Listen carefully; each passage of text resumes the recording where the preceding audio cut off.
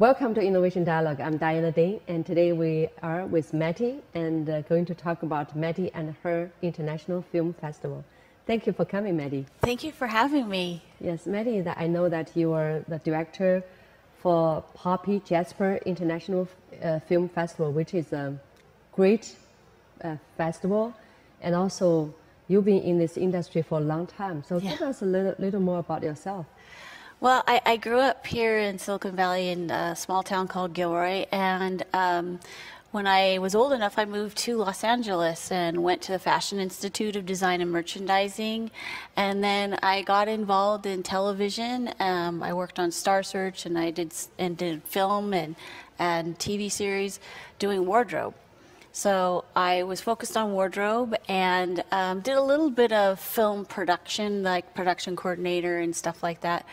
But um, ended up getting married and having a couple kids, and they became my focus. And so then I moved back to Gilroy. You got the kids and you, you moved back to your hometown. I did. Um, it's hard to grow kids in LA. I think I think some people do it very well. I really uh, family oriented, mm.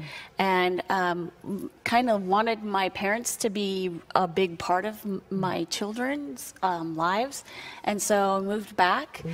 and uh, never regretted it. And mm-hmm. you know, because I had a film background and my husband had the film background we decided to start our own film production company up in Gilroy, and um, and we've been making feature films, short films, music videos, mostly corporate videos and promotional videos for about 13 years right now. Mm, 13 years. But what brought you to this uh, international film festival? Well, you know, as I was raising my kids, I I was a stay-at-home mom, and I I couldn't keep still. So I started volunteering for nonprofits, and I really believe the importance of the arts. I think we're lacking the arts in schools, and so for the for 20 years, I worked with a nonprofit organization, Gilroy Arts Alliance. I was involved in city um, commission, art commission, uh, for 10 years, and and I just had a had a passion for that, and I helped create events and helped promote the arts and wrote grants and stuff. Helped uh, found the board for the Gilroy Arts Alliance, um, and I helped a little bit with the film festival because it's been going on since 2004, and so I was helping a little bit with that, and I was help creating promotional videos, but I was kind of on the periphery of it. Um, the festival started off doing really well and it started started to decline and it wasn't doing super well and I think everyone kind of went their own way and so the founder of the film festival said, "Hey, Mattie, you you're a filmmaker. Um, you also understand what it's like to run a nonprofit organization. So, what about if you take over the film festival?" And I said, "Well, sure." And um, it was always just in Morgan Hill, and I said, well, as long as I can expand it to Gilroy, which is my hometown. And um, he says, that was always the plan. Nobody's ever done that, but, you know, we're more than happy to have you do that. And I said, well, and I'll also need to make a lot of changes. He said, you'll be the boss. So I, I took over the film festival. Wow, you took up the, over a uh, international film festival, which started from 2004. So what have you changed from uh, compared with uh, the old ones? Well, I I noticed that you know there's two things that to me make a film festival work. And as a filmmaker going to film festivals, I knew what I liked about them. And I also What do you like? I I liked being around other filmmakers. Mm-hmm. I liked meeting industry people. Mm-hmm. I liked seeing people watch my movie that I made, you know, and I, I just like to enjoy, enjoy uh, learning and growing with other mm-hmm. filmmakers. Um, so I knew that the film festival was 50% filmmakers and films. You can't have a film festival without that. But you also can't have a film festival without your community. Mm-hmm. And I felt we were lacking there. And so I reached out to the community. I joined the Rotaries, the chambers. Mm-hmm. I probably did like 20 PowerPoint presentations all over town, all over a lot of towns. And and also created uh, educational programs because I really feel like film is a viable career choice for any age, not just kids, not just young adults, but older adults too. And so we have a youth program for four year olds to 14 year olds, and we have a millennial program for millennials. We have a young, uh, an adult program for 40 and up. We also have a senior program for 70 and up. Wow, you're doing this with a team, right? well, how could you do so many things in two years, Jeff? Uh, it's it's passion. You know, um, when I I have never been a leader. Uh, I've always been a worker I, bee. I thought you were born as a leader. No, I was I was terrified. I, I was one of the shyest people mm-hmm. in school. Uh, scared me when anyone would mm-hmm. look at me and talk to me mm-hmm. and to get up on, on stage and, and talk being here is kind of a little scary um, but but i feel so passionate what was your changing point when was that when i got this role when when Bill asked me to become the director of this film mm-hmm. festival, it's almost like everything I've learned throughout my mm-hmm. life mm-hmm. culminated to this moment, mm-hmm. and all of a sudden something clicked, and I just knew what I had to do. I, I, I knew I, I, I made all these decisions, I made all these changes, I had a vision. Mm-hmm. And and it was risky and it was scary. What is the most scary thing for you? Hoping people show up, hoping people show up, hoping they like the films that we get, mm-hmm. you know, that they enjoy themselves, that they that they feel worth it, that my community mm-hmm. is proud of me, mm-hmm. you know. Where did you get the financial support? Um, so it's, it's I didn't difficult. really, I didn't difficult. really have that. Uh-huh. I had twelve hundred dollars oh. to to put the festival on. Twelve hundred. Twelve hundred. Wow, that's kind of you know really. It's a little. Very very little. very little, I would say. Yeah. it's not very much. So I really depended mm-hmm. on the community, yes. and they came through. Mm-hmm. You know, the city of Morgan Hill lets us have the Playhouse mm. for basically free. free. Oh. And that's where we screen all our films. Mm-hmm. In Gilroy, we have this. It was the mm-hmm. old Strand Theater, mm-hmm. but now it's called Capos. It's a mm-hmm. nightclub and and bar and uh, nightclub and bar, mm-hmm. and it is a huge place that's just this uh, Elmer, uh, this, the owner renovated and it's stunning, and he lets us use that place. Mm. Couldn't do it without him. Mm. Um, and then we also have Golden State Brewery, which mm. we do a lot of our music there, mm. and, and just whatever we need, they're there mm. for us. Um, and then Hollister is coming through the same thing. There's a Granada Theater in Hollister, and um, Andrew, who runs it, is letting us use it too. So that was the only. That's the only way we could do what we do. Is and uh, we have a very generous community, and then we have this beautiful theater called the Granada Theater in mm. Morgan Hill, mm. um, and they they do an amazing job and they help us as much as they can, um, so that we can have like our gala mm. is is. Uh, just so fantastic because of that place. Mm. So. Mattie, you know what? You have a natural power to, you know, influence people and they, you know so many people willing to work with you. Like when i met you at the first time i was really inspired. Oh. Yeah by your dream and your passion. And for the last two years it was went, went on very well right? Yeah no we i think the the year before they had 400 people show up and now mm. we've got almost 3000 people showing up. 3000 so who are they? Where are they come from? Well last year mm-hmm. uh, this well this past april um, we had filmmakers from eight different countries come. And and then all over the United States and northern and southern California we had a lot of filmmakers. Mm-hmm. and that to me was just you know the most uh, wonderful feeling. I, I wanted I wanted two people from inter, I wanted two international filmmakers to come and I got 16 international filmmakers coming. Wow. so to me to that's a huge expense. That's a, that's not an easy thing to do. And there's mm. there's thousands of film festivals, and the fact that they chose ours to come to ours. Mm-hmm. Just, why why they chose yours? Um, you know, I just think they I just think they were happy that um, well, I last the year, first year I got one person from another country. This year we got eight eight different countries, mm-hmm. and I think the change was as they saw what we did. Mm-hmm. If you look at the so pictures from what do you do differently? Um, well, what we try and do is we spoil them. You know, we spoil In- the in filmmakers. we uh, have film. We have what call we call filmmaker lounges. Mm-hmm. We're VIP in filmmaker lounges, and basically we feed them and we give them drinks and Mm-hmm. uh, we drive them anywhere they want to go, and. And I and the, with the testimonials that Mm-hmm. we've gotten from the filmmakers have been, you made me feel like Steven Spielberg.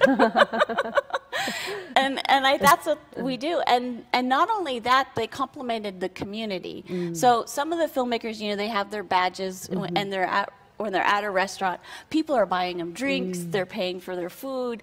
They're saying, "Hey, do you need to? If you want to go here, oh, really? you, or next time you come to town." Um, you can stay with me. This mm. one filmmaker said, I, I've been offered by like five different people that if I mm. come back, they, I can stay with them. Is that because of you or because of Gilroy? It's because of Gilroy. It's Gilroy, Morgan Hill, and Hollister.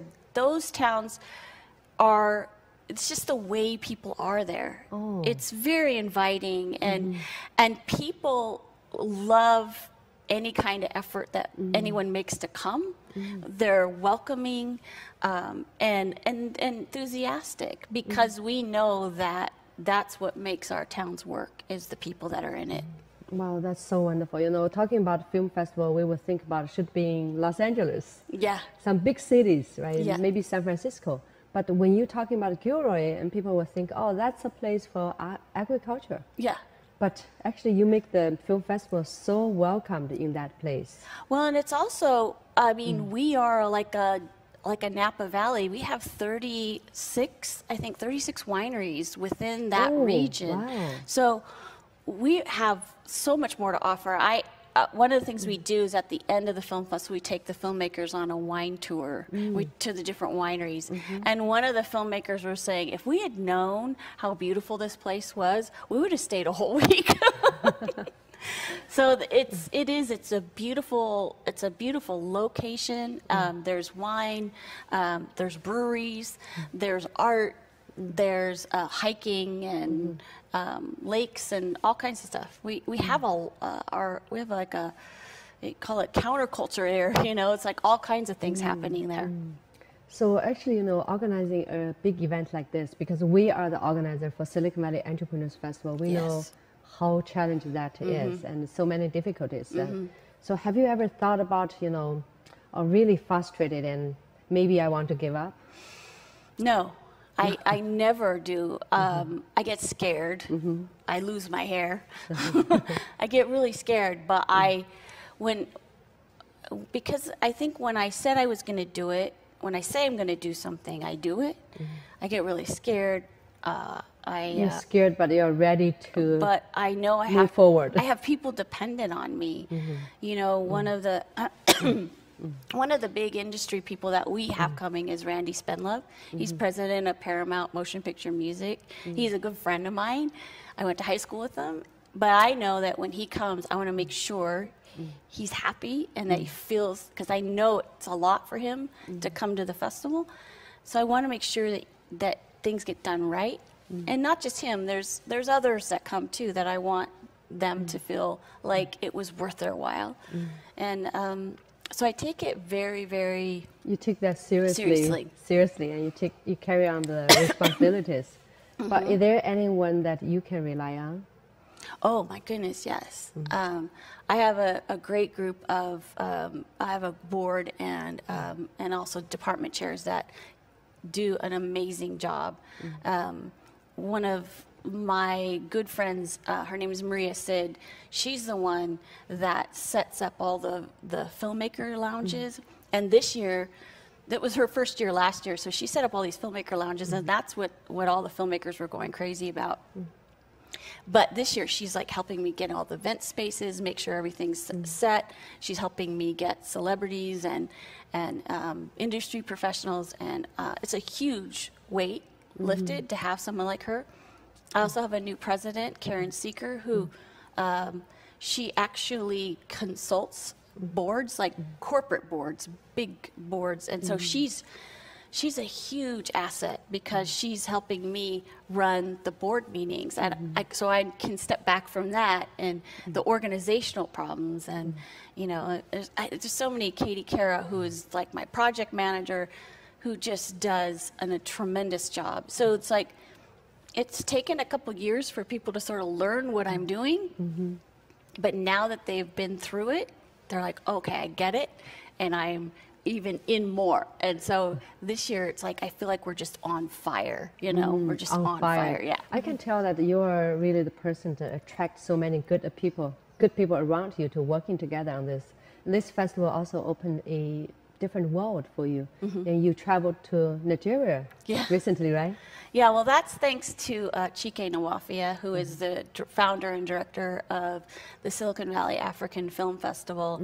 And he has been a huge, sp- well, I just admire him so much, and he's become a, a great mentor of mine. Um, I used to, I've gone to every year of his film festival, and, um, you know, he got this opportunity to go to Nigeria and he could bring someone with him. And he picked me. Mm. And he said, You have to have Mattie come because you have to talk to this person because you he saw the film festival before and after and he was just blown away with what I did. And so he wanted me to go there to talk to them about my experience mm. of running a film festival. So we went to a film festival in Nigeria called the Zuma Film Festival. Mm. And um, it was just an incredible experience. And I felt so lucky to have gone. So this international uh, film festival have so many uh, filmmakers from all over the world. Do you have any people from uh, Asia, from China? We haven't. That's what I want really badly, and that's why I'm working with you and I'm working with Shanshan Whitall. I really, um, I- we actually have created a whole day for China Mm. because I feel like we haven't been getting films from China, and I mm. understand a little bit why now. Oh, there are so many great Oh filmmakers and talented people in China. Oh yeah, one Yeah. of my favorite Chinese film uh, directors is John Woo. Oh. uh, I mm-hmm. I mm. find that um, you know we there is a discrepancy with minorities being represented in Hollywood, mm-hmm. and I really want to bridge that gap, mm-hmm. and so. International in our title is not just there because it's a big word. Mm-hmm. It's there. It has meaning. It has purpose. And What's the purpose? the purpose is to open the everyone the eyes of everyone to see what the world looks like mm-hmm. through the filmmaker's eye, mm-hmm. not necessarily the media and politics. Those are important stories that have to be told, but there's a lot of other stories. And and you know one of the interesting things is we got um, 19 films from Iran last year. Iran. Iran. 19 films. And hmm. I never in my life would have mm-hmm. thought that. And I mm-hmm. remember looking at all the films we accepted, and I'm like, and I'm counting them, and I'm going, 19 films. And mm. I asked a friend of mine who's from Iran, what's going on? And he says, you know, the, the older generation has, we sort of killed off in the wars. This younger generation coming up, they're not buying into the political fanaticism, mm-hmm. and they're very artistic. And and the art movement in Iran Iran is booming, and so we wouldn't know that if we didn't mm-hmm. have their films, and so for people to see mm-hmm. what's ha- change, the changes that are happening in this country, to me it balances things. Mm-hmm. Same thing with China, the same mm-hmm. thing with Africa. Um, so yeah. Balance things. So why you think that is so important right right now? because we need to see each other as people instead of what nationality they are, what gender they are, um, what sexual preference they have. We need to look at each other as equals. Mm. And it's not being reflected in Hollywood right now. Mm-hmm. And so for me, it's one of the things I said last mm. year was we're going to be 50% women.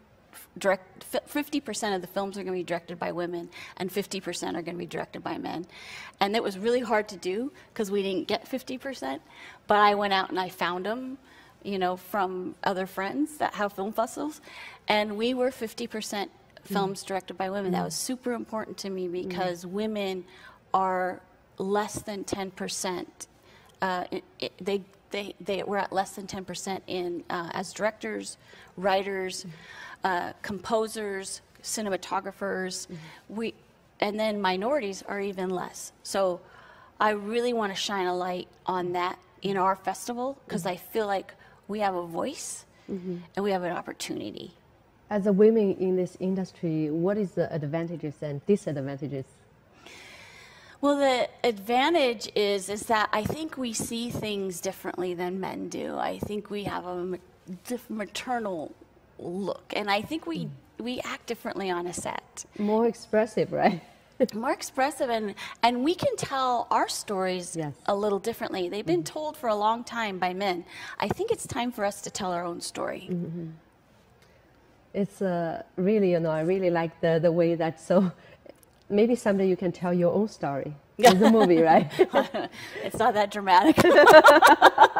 it is. Well, to many people. Yeah. You know, when we, uh, I think that movie is really a film. It, this industry is really such an inspiring. Mm. It's not uh, just entertainment. It's also the culture Mm-hmm. and for people to really understand each other yes. deeply.